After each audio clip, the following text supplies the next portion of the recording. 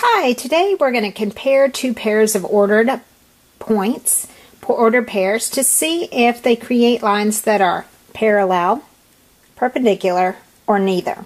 So to be parallel, they have to have the same slope. So if my original line has a slope of 2, then if the new line has a slope of 2, they're parallel. If my original line has a slope of 2, then and the new line has a slope of negative one half, that's its negative reciprocal, then they would be perpendicular.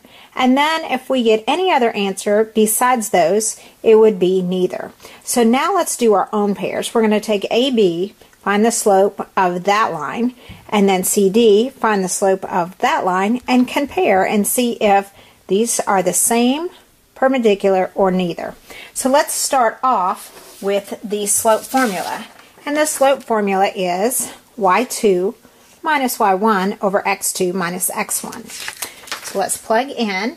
Now I have x1, y1, x2, y2.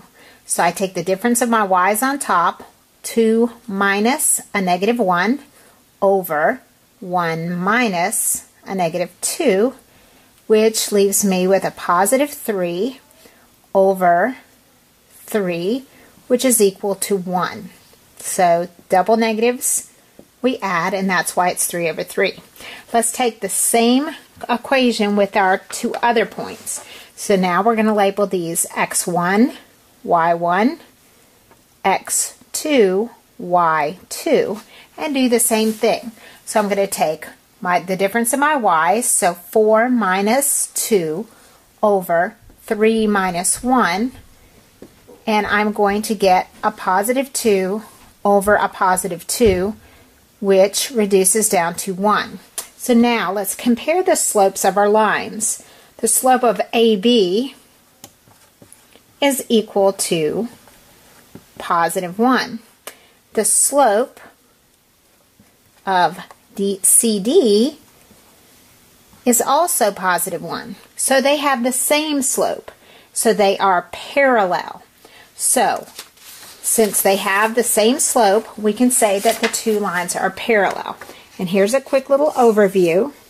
If they have the same slope, they're parallel. If they have negative reciprocal slopes, they're perpendicular.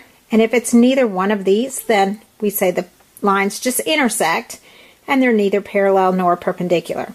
So we found that both of these had a slope of positive 1, therefore the lines are parallel. In order for these two lines to be perpendicular, I'll just show you an example. If the slope of AB is 1, if I make that into a fraction, it would be 1 over 1, and its reciprocal, negative reciprocal, would be 1 over 1, but then I would also make it negative, so that would be negative 1. So the slope of a line that's perpendicular to 1 is negative 1.